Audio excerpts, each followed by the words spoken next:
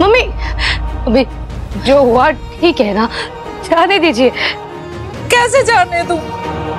वो चुड़ैल नागिन डान तेरे घर में डेरा डाल के पड़ी है, तेरी ज़िंदगी तबाह कर रही है। घर में इतने बड़े कांड हो रहे तूने मुझे क्यों नहीं बताया? अरे वो डान तेरे दरवाजे पे मुझसे टकरा गई और चौड़े में छाती कूट के बोल रही है कि मैं इस घर में रहती हूँ, इस घर की बहू बनकर। और वो तेरी सास अपनी जबान से कैसे फिर गई? अरे कोई दीन ईमान है कि नहीं उसका? मजबूरी थी मम्मी हमारी। ए मंगल ऐसी कौन सी मजबूरी थी? मुझे भी तो पता चले।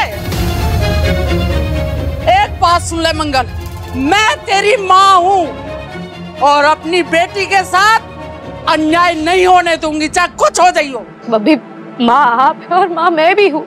आप मेरे लिए परेशान है मैं अक्षत के लिए परेशान हूँ। मम्मी अक्षत पे हमारे अलग